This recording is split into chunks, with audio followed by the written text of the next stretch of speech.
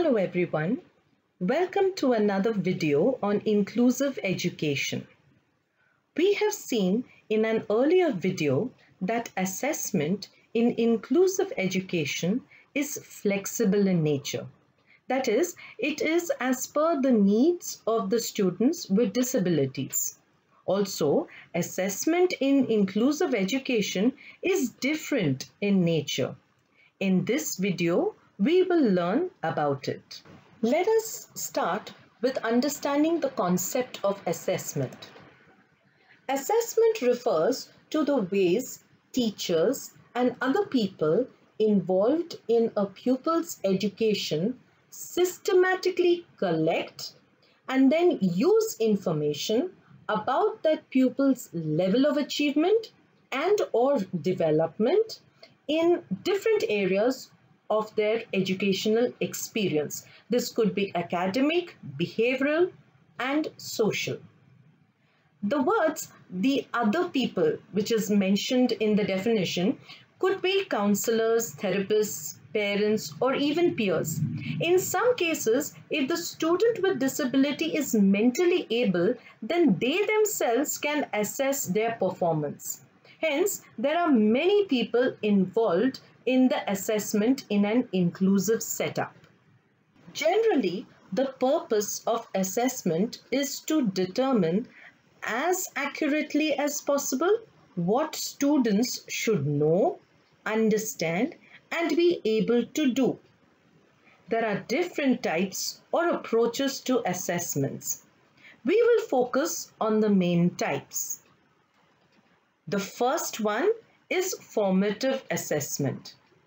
Here, the teacher assesses or checks during the learning process.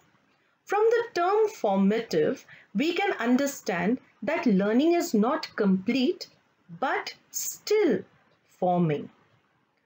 The information from such an assessment is useful for teachers to modify their teaching strategies or environments for effective learning.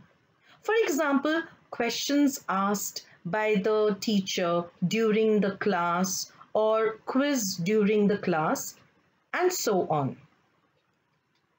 The second one is summative assessment. Here, assessment comes at the end of a learning sequence and is used to acknowledge, record and report to the pupils or about the pupils overall achievement at a given point. For example, unit tests, final examinations, and so on. The third one is very important in inclusive education, and that is the diagnostic assessment. This becomes very vital when teachers use remedial teaching strategy or while developing individual education plans to cater to the needs of students with disabilities. The hmm. diagnostic assessment is used to identify individuals' strengths, areas for improvement, and to plan next steps in assessment or in the teaching learning process. There are some principles that govern assessment in inclusive education. Let's take a look at these principles.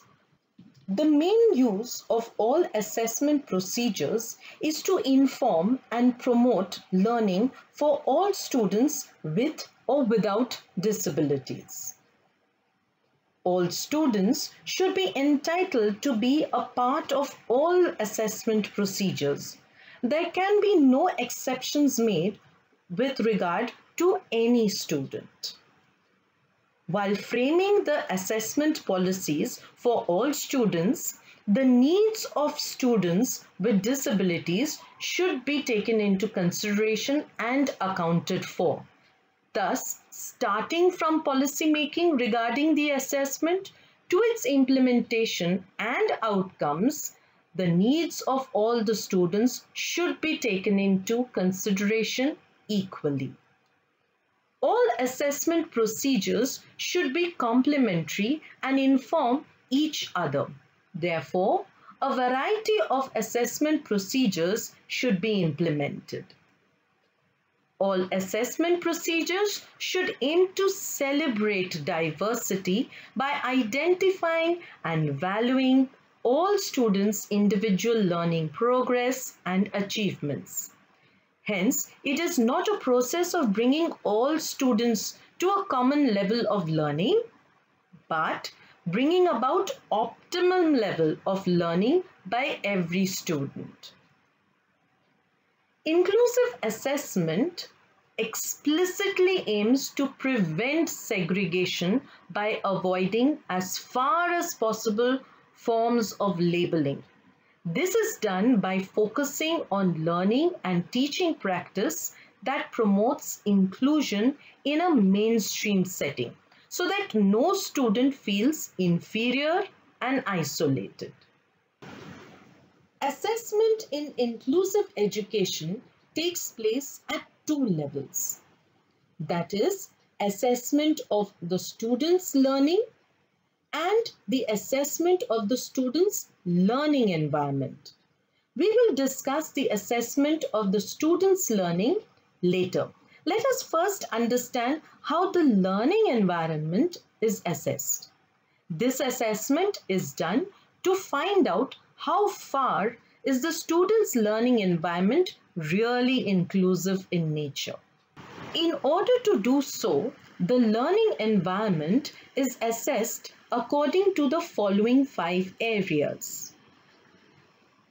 The first area is related to overall education policies. The institutions require to follow the education policies of the government. How far do the education policies of the institution follow those given by the government is assessed by answering questions like why are pupils assessed? Who uses the assessment information? Who carries out the assessment? Who else is involved? What is assessed? How are pupils assessed? Against what are the assessment results compared? And so on. These questions answer to how far the policies of the institution matches to the policies of the government which is related to inclusion.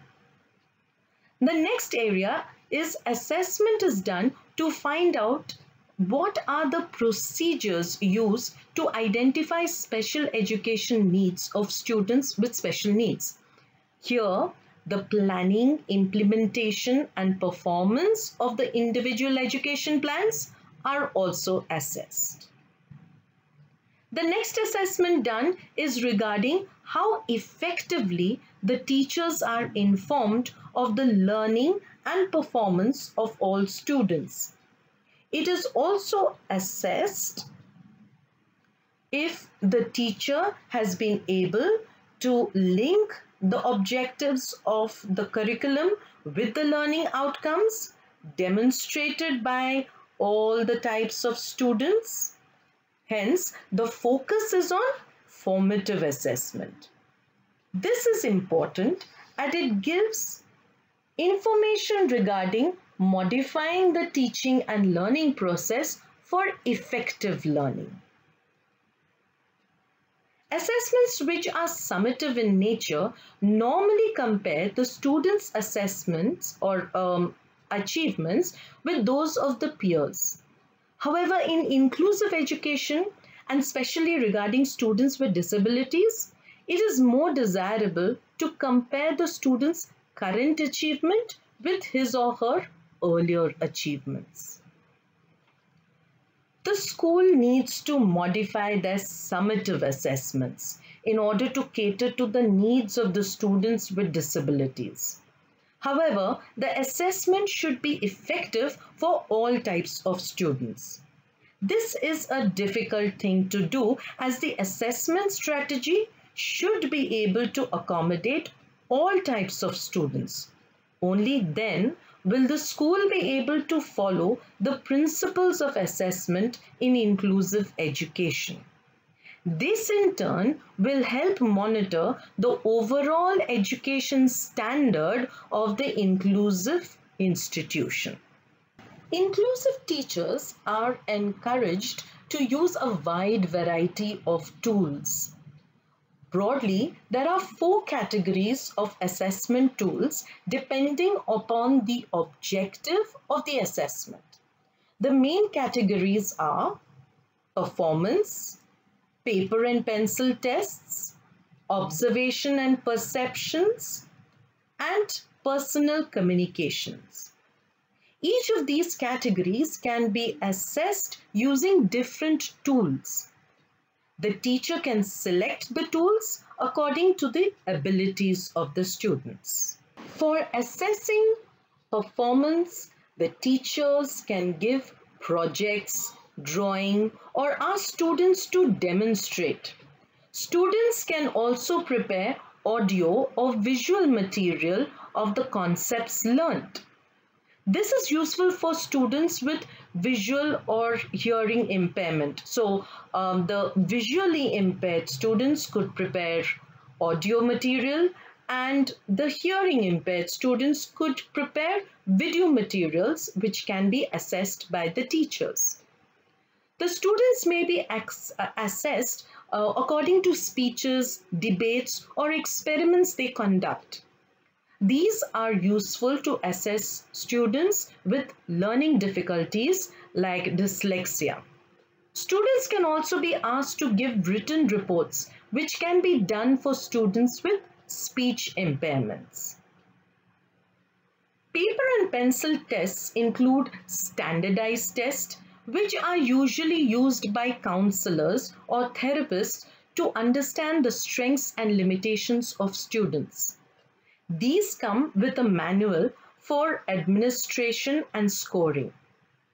End of unit tests and teacher made tests are more flexible and teachers can easily modify them to cater to the needs of students with disabilities.